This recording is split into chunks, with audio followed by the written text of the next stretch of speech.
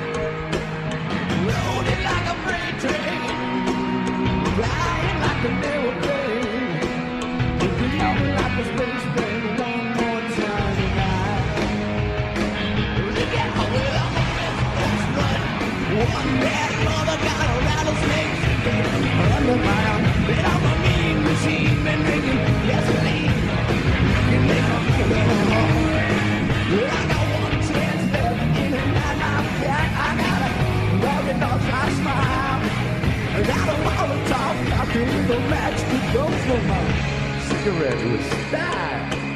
And I can tell you, honey, you can make my money. Oh, wake up late, put on his leg, make your credit card to the liquor store. That's what you do for me tonight. I've been loaded like a freight train, flying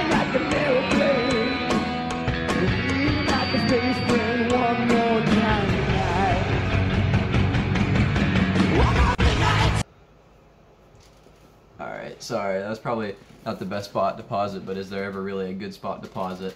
Um, wow, uh, freaking, they have a lot of energy, dude. These dudes are super high energy. I mean, I just freaking watched, uh, lead singer Axl. I just watched this dude literally run from freaking like the center of the stage. This is a big stage too. This is like Tokyo we're talking about, and this dude literally ran from like center stage all the way to the right side of the stage, and it looks like he's getting ready to start booking it back to the other side or back to the center.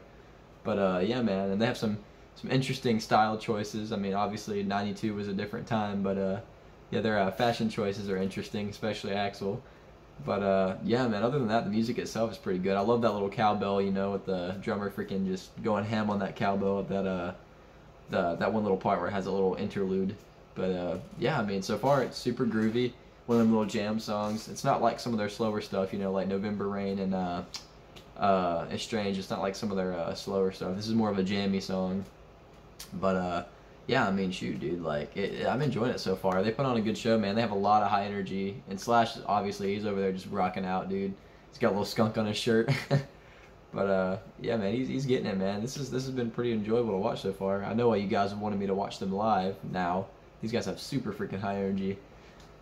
But, uh, let's see, let's see what the rest of the song's about.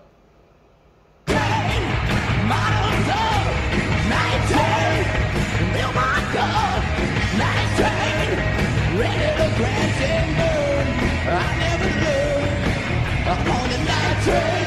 ¡A la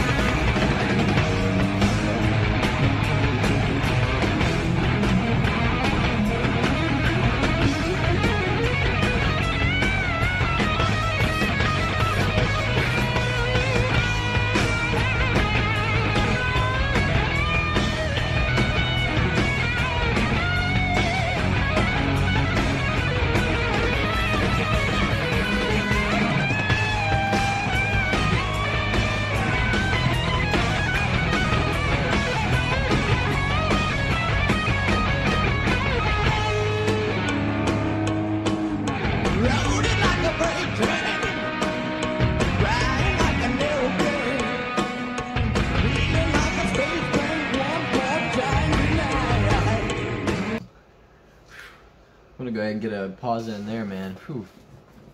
That solo is freaking epic. I actually love the little chord progression. You know, it sounds kind of like I don't know how to explain it. Like it has a certain melody to it where it sounds kind of like epic, if that makes any sense. Like it's more. It goes from just like you know your jammy little groovy like classic rock song to like it has like this. uh Ah, what is it? I don't know how to explain it. The chord progression, but it has this really driving chord progression, where it has like this sort of like heroic kind of like epic feel to it. But uh, yeah, man, that solo was freaking dirty. Obviously, I mean, he was going at it, and the drummer, dude, like, geez, man, the drummer's kind of going off on this song, man. Pretty good, honestly. I mean, I, I, I guess when you think of Guns N' Roses, you don't really think of the drummer, but I mean, I feel like you kind of should. I mean, this dude's kind of, kind of going at it on this song. Some of those little transitions he's doing is really freaking killer, man. And yeah, the cowbell, love it. But uh, yeah, and Axl's doing pretty good too, man. Some of these high notes he's hitting are pretty solid. But I feel like this is more of a musically, like, sort sort of like musician-oriented song when it comes to Guns N' Roses. Because normally he's way more like flashy and just freaking out there, at least from the stuff I've heard.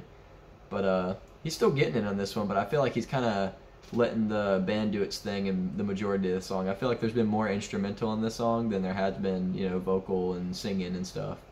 But uh, dude, I'm freaking enjoying this. I like watching them live, honestly. I might start doing live for most of their stuff, but I also like doing studio recordings because it's like I feel like that's the way the song was meant to be heard. If you see what I'm saying, like they purposefully studio recorded it like that because that's the definitive version. Like that's how they want it to be represented, you know. And then they'll go play it, and you know, stuff either sounds better live, like they can do different things with it and kind of mess with it, or maybe sometimes stuff sounds a little more strained live if it's like the last song of the night and they're already tired, you know. So that's why I like listening to the studio versions because it's like it, it's the definitive version of the song where it's like that's how it's supposed to be heard, you know. But at the same time, I mean, these dudes, I haven't heard the studio version of this song, but I mean, dude, this sounds like it would probably be exactly like the recording. I mean, he's other than some extra guitar soloing and cool stuff that's good to have, you know. But uh, yeah, I mean, Axl's going off, the drummer's going off, bass player's over there holding it down. I mean, dude, the whole band's freaking tight. Even the guy that came out with a tambourine, dude, like that actually, you'd think something as simple as a tambourine wouldn't make that much of a difference, but dude, that added a whole other element to the rhythm, man. Kept it going. It added more to that heroic feel and to like the build of the song. But yeah, dude, like wow, like the band is just on point right now, man. They're super tight, man. But uh, anyways, we'll, we'll get back into it.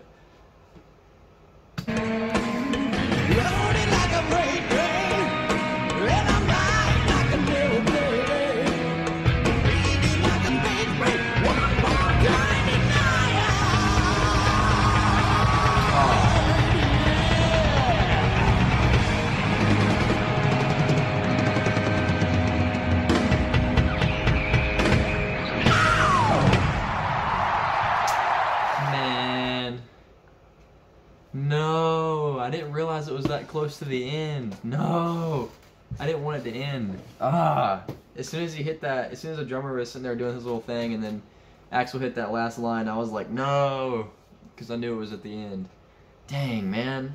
Honestly, I wish that song had went on a little bit longer. To be honest, I could have listened for freaking at least another thirty minutes, man. But uh, yeah, the reason why I was so shocked when it zoomed out is because the crowd was freaking huge, dude. that was, I mean, I know it's Tokyo, but like that crowd was massive. Goodness. But yeah, man, I mean, they, I mean, what more can I say? I mean, they killed it, and uh, you know, you know how a band's good when you just listen to over five minutes of their a live performance from them, and you're just like, dude, it ended, like what? But uh, yeah, I mean, thank you so much, guys, for recommending this to me because this one was a freaking banger. And uh, yeah, leave a comment down below for uh, what I should react to next. But uh, I don't have a whole lot of comments on this other than what I've kind of already said. I mean, it's a really good jammy song. It has an awesome freaking vibe to it when it gets into the chorus. The solos are freaking crazy. Percussion as far as the tambourine and the freaking uh, drummer on that cowbell and all the other fills that he was doing, it's just on point, man. That was just a really good, awesome, tight, just jammy song, man. But uh, anyways, guys, uh, I really appreciate it again, and uh, yeah, leave something for me to react to next, and uh, I'll hop on it. But uh, this was freaking killer, dude. This is going on the playlist for sure. But uh, yeah, man. Anyways, thank you guys so much for watching, and I'll catch you in the next one.